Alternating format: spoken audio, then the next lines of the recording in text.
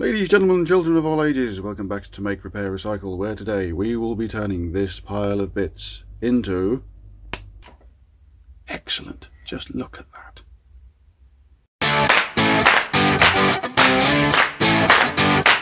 So in this video I'm going to be making a new power supply to go with my DIY sim wheel. If you haven't looked at those videos there'll be a link somewhere along here that'll get you caught up.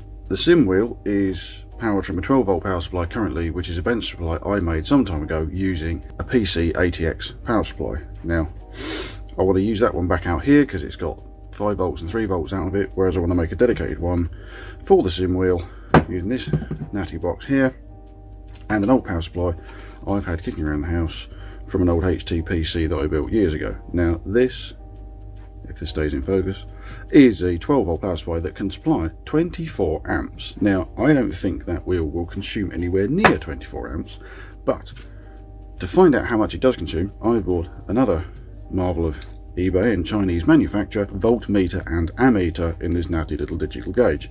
The lovely thing about this is it came with no instructions. So this is going to be fun, but we'll work that out as we go along.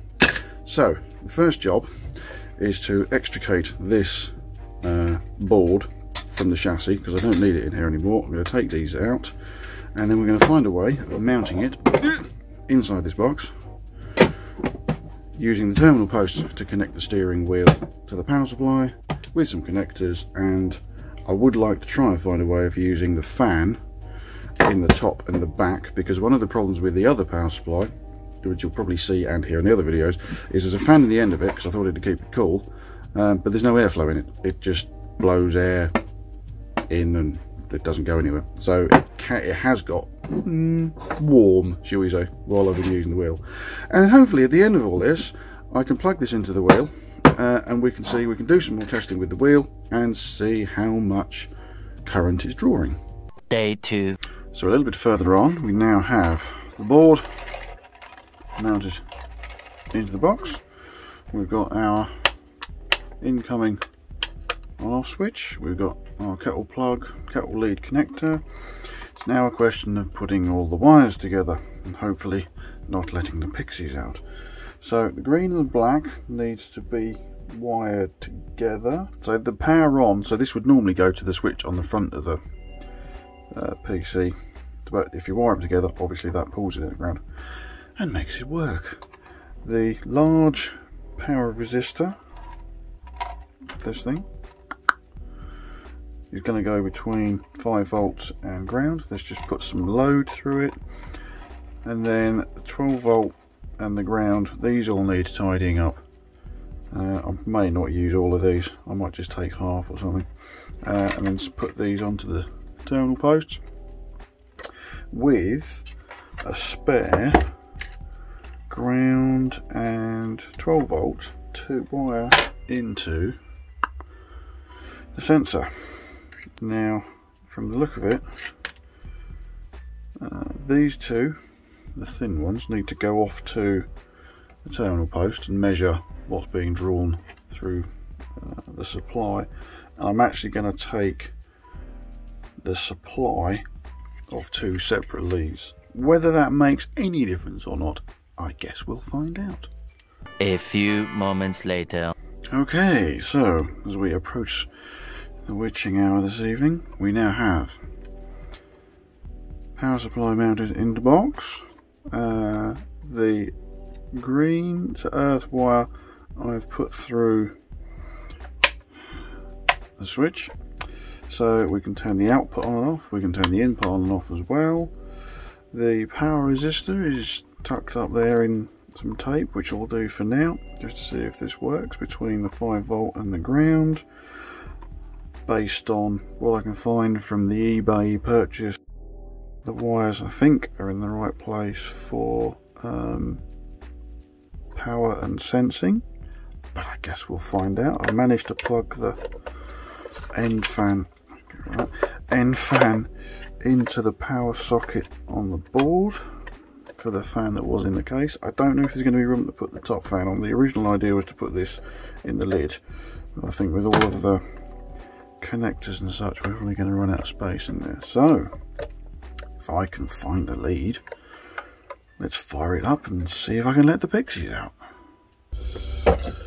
So I'm going to pop the lid on this because I don't want uh, to electrocute myself.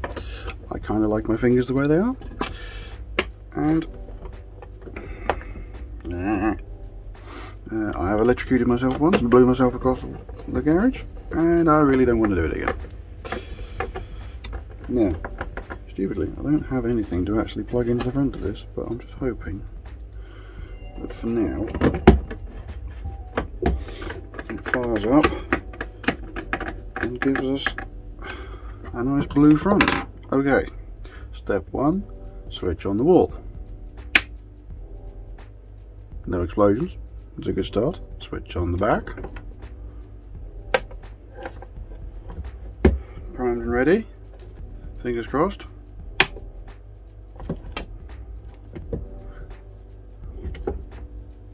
Hmm.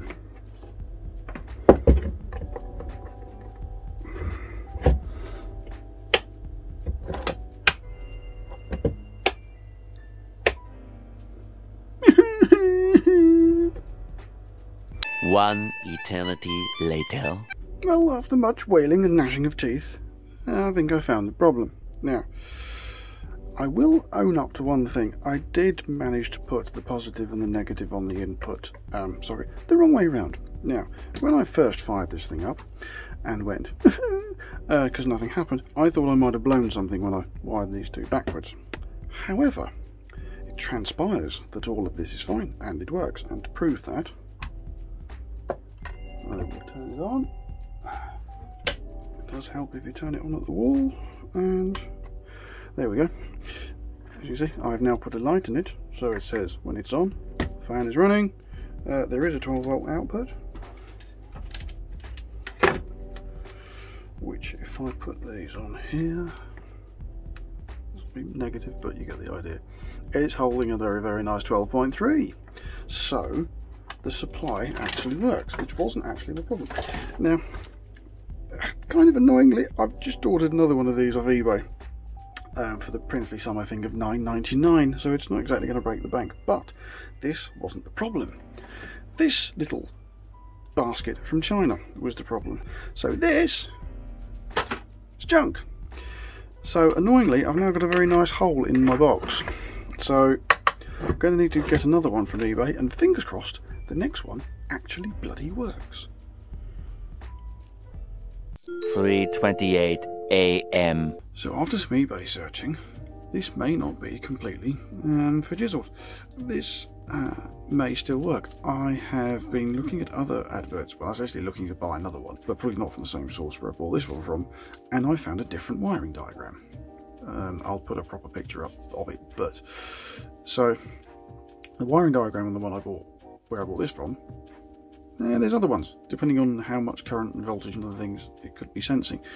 So what I'm going to try and do now is wire this up as per the new diagram and then see if it works. Okay, good enough for me.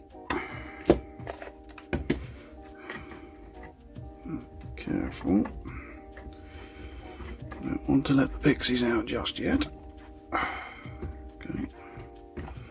am going to put the lid back on because, mm, because electricity.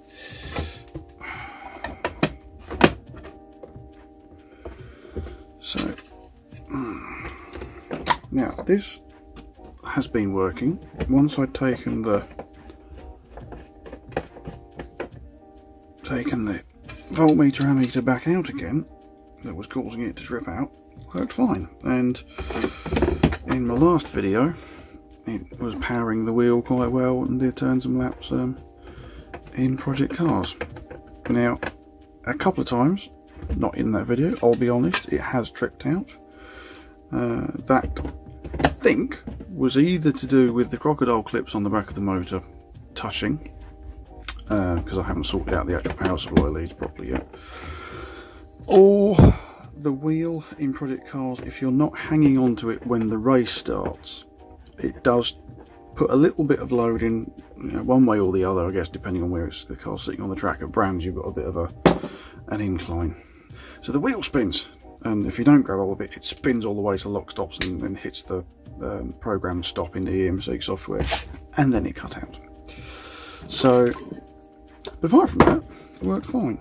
Um, I'm going to do some more stuff. I'm going to do some stuff in racing soon. Empty socket up here. Right. So, we know the LED will work because that's wired in, not wired in. Power is on. Let's. Look at that! Witchcraft and pixies. So what we ought to do now is find something to wire in the front of it uh, to see if we can get some um, current readings. Yes! Excellent. Just look at that. So much later that the old narrator got tired of waiting and they had to hire a new one. So I've got a little simple test set up here. I've got the wheel um, plugged into the PC with the EMC utility tracking the wheel. The power supply unit is plugged in as powering the wheel and I've also put the ammeter in place so we can measure the the current that this thing is drawing to see how accurate this thing is here. The wheel has got, within the software, within the EMC utility, there is a, a, a setup where you can set the maximum angle for the wheel. This is currently set to 900 and as we turn the wheel round we'll start to see yep the current on the ammeter reading starting to go up. And if this is set to 900 degrees half of that is 450 which means bump we've hit the lock stops. And we can see got to give it a bit more to try and get it to go past that but the ammeter's reading ooh, six and a half I think that hit there. Something like that.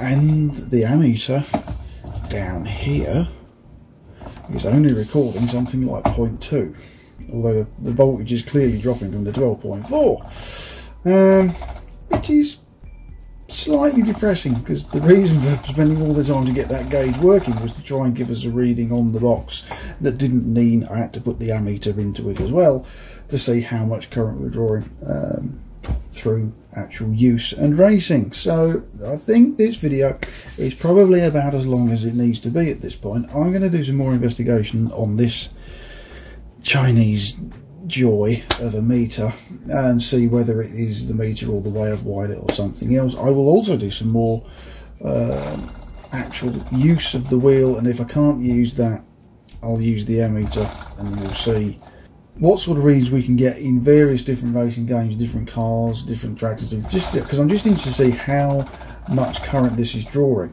And the reason for that is if if I'm going to change the gearing and we move away as I want to from the chain drive into a belt drive, it gives you the option to change the cogs and to change the gear ratio. And obviously, changing the gear ratio is going to draw more current. So that will be the next video, I think and hopefully some other developments that I'm working on as well. If you found this interesting and the development of my uh, DIY sim wheel floats your boat, hit subscribe and hit the bell and then everything that comes out you'll get to see. So, thanks for watching and I'll see you next time.